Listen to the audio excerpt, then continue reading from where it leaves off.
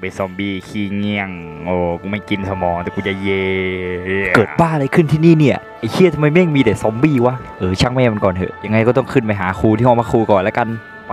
เฮ้ยน้ำมันคุณครูนี่นาคุณครูคะคุณครูเป็นอะไรอะ คุณครูทำใจดีๆไว้นะโอ้นั่นมันชาฮาตะจากห้องหนึ่งนี่นะ โอ้ใช่แล้วค่ะ ชาตะเอง คุณครูพอจะรู้ไหมครับว่าทำไมทุกคนถึงกลายเป็นซอมบี้ใช่ไหมล่ะ ครูก็ไม่ค่อยรู้รายละเอียดหรอก แต่ว่าเธอต้องรีบหนีออกจากที่นี่ให้เร็วที่สุดเลยนะ แต่ทางหลักอะมันมีแต่พวกซอมบี้ไงก็เลยต้องไปทางโรงยิม เอานี่เอาไปครูให้นี่มันเผื่อจะมีประโยชน์กับเธอได้บ้างนะ ชาตะ แต่ก่อนจะออกจากไปจากที่เนี่ยเธอต้องไปเปิดประตูโรงยิมก่อนนะ เอาเอานี่ไปกุญแจห้องใต้ดินไปเปิดไฟนะเร็วอาจารย์ไม่หนีไปด้วยเหรอคะโอ้ไม่เป็นไรหรอก ให้ฉันตายที่นี่เถอะโอ้แต่ว่าฝากลบประวัติบอสเซอร์ในคอมไว้ด้วยนะ เจอกูแน่ไอ้พวกซอมบี้ นี่มึงเจอลูกปืน enjoy กู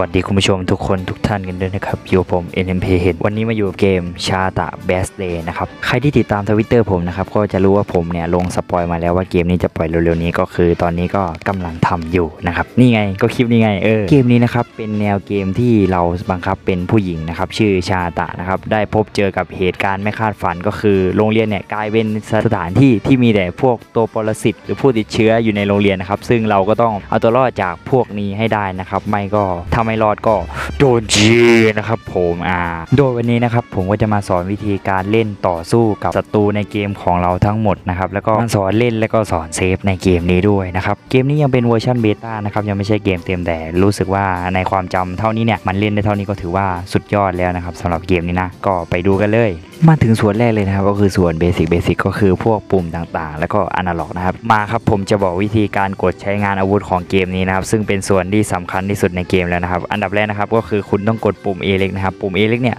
ไว้เป็นการเล็งนะครับ ส่วนทิศทางในการเล็งนะครับ คุณสามารถใช้อนาล็อกในการเลื่อนลงเลื่อนขึ้นอะไรแบบนี้ได้นะครับส่วนปุ่ม A ใหญ่เป็นการโจมตีไปในทิศทางตรงนั้นที่เราเลือกนะครับผม ส่วนถ้าสมมติคุณกดปุ่ม A ใหญ่อย่างเดียวเนี่ยมันจะเป็นการยกมือนะครับ ยกมือเหมือนกับยอมแพ้นะครับ ถ้าสมมติคุณผู้ชมอยากเห็นแบบว่าเอ้ยนางเอกโดนเซตกับตัวนั้นตัวนี้ก็กดยกแบบนี้ได้นะครับเป็นการยอมแพ้อะไรประมาณนั้นนะครับผม ส่วนต่อมานะครับเป็นส่วนของการ save นะครับการ save เกมนี้ก็คือต้องไป save ที่ห้องพยาบาลครับซึ่งห้องพยาบาลเกมนี้เนี่ยก็จะมีเอกลักษณ์ที่ประตูสีชมพูนะครับก็คือเข้าไปในห้องนะครับแล้วก็ไปที่เตียงแล้วก็กดคำว่า save นะครับแล้วก็กดคำว่า yes นะครับผมมันก็จะเป็นการ save ของเกมนี้แล้วนะครับ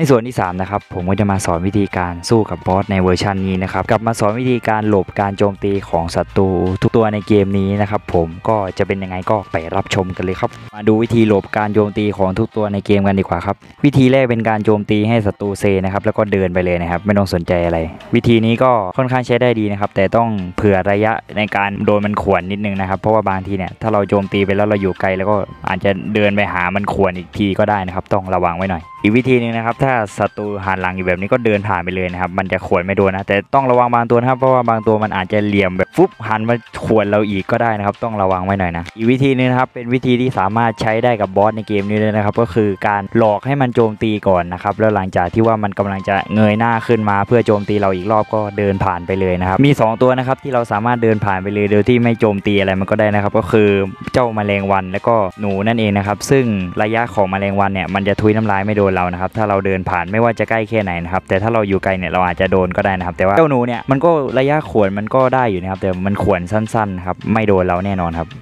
ผมขอเรียกเจ้าผีตัวนี้ว่าผีขาวนะครับ เพราะว่าลักษณะมันให้นะครับ แล้วก็คุณก็รู้อยู่นะครับว่าผีตัวนี้เกิดมาจากอะไรนะครับ ก็ผีตัวนี้นะครับใช้ทิกเดียวกับการหลอกให้มันโจมตีนะครับ แล้วก็ให้วิ่งอ้อมหลังไปในระหว่างที่มันกำลังจะเงยหน้านะครับ ส่วนอีกตัวหนึงนะครับเป็นตัวที่เราเดินผ่านไม่ได้นะครับ ต้องยิงมันให้ตายอย่างเดียวก็คือเป็นคล้ายๆเถาวัลย์ครับถ้าเดินผ่านเนี่ยโดนจับเลยนะต้องยิงให้ตายนะครับ วิธีการสู้กับบอสในเกม วิธีสู้กับบอสในเกมนี้นะครับอันดับแรกนะครับให้คุณถือปืนเลยนะครับแล้วก็ยิงนะครับยิงไปเรื่อยๆนะครับก็เมื่อบอสมันมาถึงระยะนะครับให้คุณทำการทำ trick ที่ผมบอกนะครับก็คือล่อให้มันโจมตีนะครับแล้วก็เดินออกนะครับแล้วหลังจากที่มันเงยหน้าขึ้นนะครับให้คุณทำการหนีไม่ก็ reload นะครับถ้ากระสุนมันหมดนะครับอ่าก็หลบไปด้านหลังมันครับเพราะว่ามันอาจจะตีเราได้นะครับเพราะบอสมันตีแรงนะครับแล้วก็เมื่อโจมตีไปสักระยะนะครับมันก็จะเปิดอีกร่างหนึ่งมานะครับซึ่งเป็นร่างที่โชว์จุดอ่อนของมันนะครับก็เป็นคล้ายๆกับตาหรือว่าอะไรสักอย่างนี่แหละครับมันก็จะเรียกซอมบี้มาเพิ่มอีกสองตัวนะครับให้เราจัดการลูกกระจอกพวกนี้ก่อนครับถ้าจัดการไม่ได้จริงๆให้ออกก่อนนะครับเพราะว่ามันค่อนข้างที่จะเสี่ยงนะบางทีเราไปโจมตีอะไรตรงนั้นมันนะครับก็ให้ออกมาก่อนเนาะหลังจากนั้นนะครับให้คุณพยายามโจมตีจุดอ่อนมันนะครับให้พยายามล่อล่อให้บอสมันเปิดเออจุดอ่อนมันนะเพราะว่าบอสเนี่ยไอตอนนี้นะครับมันก็จะเอามือมาปิดจุดอ่อนมันนะครับอ่าให้เราทำการยิงไปนะครับล่อล่อซื้อตอนมันเปิดจุดอ่อนครับแล้วยิงนะครับตอนมันล้มแบบนี้นะครับให้คุณทำการรัวกระหน่ำยิงเข้าไปที่จุดอ่อนเลยนะครับรัวยิงยิงยิงรัวๆเลยนะครับอ่าถ้ายิงไปจุดอ่อนนี้เยอะมากเท่าไหร่นะครับมันก็จะตายเร็วมากขึ้นเท่านั้นนะครับอ่าซึ่งตอนที่บอสมันเรียกลูกกระจอกมานะครับก็จะมีกระสุนประมาณ 2 แพ็คมั้งไม่ก็แล้วก็ยานะครับคุณต้องระวังเกมนี้ไว้ด้วยนะครับเพราะผมเคยเล่นเล่นๆอยู่แล้วมันค้างนะครับเกือบตายนะครับอังก็ให้ทำตามที่ผมไปเรื่อยๆนะครับเมื่อมันล้มแล้วแบบนี้ให้กระหน่ำยิงไปเรื่อยๆนะครับแล้วก็เมื่อมันตายนะครับก็จบเลยนะครับสำหรับบอสตัวนี้ก็มีแค่นี้ครับสำหรับการสู้บอสนะครับไม่ได้ยากนะครับแค่ต้องรู้ทิกเฉยๆนะครับใครดูแล้วสนใจนะครับสามารถ กดโหลดได้ที่ลิงก์ใต้คลิปเลยนะครับสำหรับคลิปนี้ขอลาไปก่อน สวัสดีครับ